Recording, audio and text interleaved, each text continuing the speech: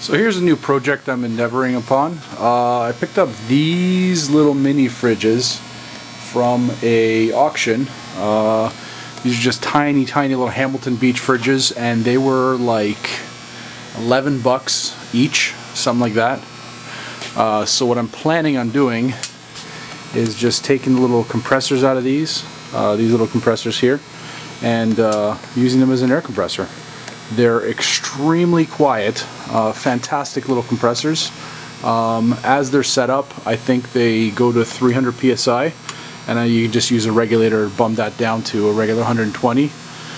Uh, from a friend of mine, I got uh, these uh, uh, tanks. They're the oxygen tanks. Uh, as you can see, a couple of them are empty. So he calls me up one day and says, "Hey, you want some, uh, actually, what do you call them? You know, welding tanks? You want some welding tanks? I'm like, uh, yeah, sure, I'll take them. So I have uh, two oxys over there, and I have five, yes, no, five oxygen and two acetylene.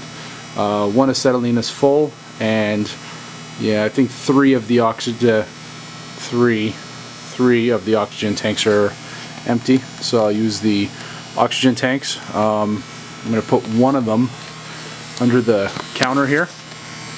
So one of them will just go right on the counter. These runners are quite uh, thick and they take uh, a lot of space under there.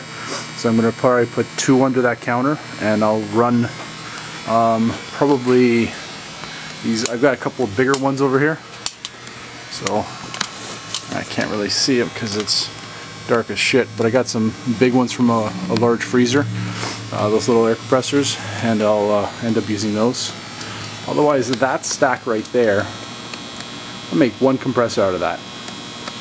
So the way I'm going to end up doing that is uh, check valves. So I've got a bunch of these check valves, just standard check valves. Um, they allow air to go one direction. Uh, this one goes in this direction here. Uh, there's just simply a little piece of rubber that goes like that and like that. Um, put one on each of those cylinders over there um, onto the compressor. And uh, maybe make like a little arrangement for them to go into and just run copper pipe to them. And uh, that should work.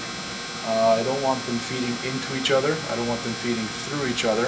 I'd rather they all pump at the same time. Uh, multi-cylinder, multi-stage cylinders work is they um, they pump from one cylinder to the other to the other to the other. Uh, if you want to do like a, a, powerful vacuum pump, you can boost the vacuum by putting them in line uh, in like a series. Uh, I'm going to be putting these in parallel, so they're all working at the same time. Uh, that doesn't work, I'll put them in series. So we'll see. I got lots of them. I don't mind burning them out. I really don't care.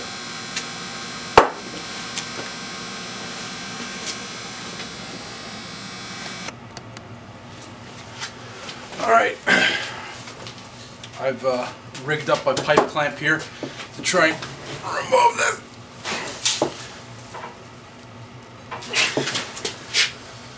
Alright.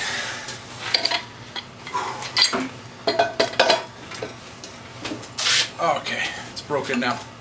Holy fuck, that wasn't easy. Trying to figure out how to fucking get this thing from moving is not an easy task.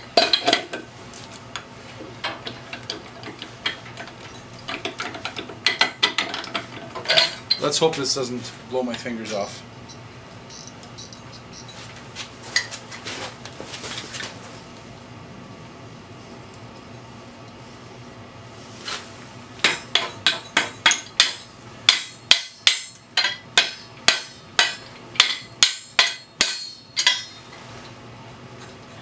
I got, I got, oh, oh my god.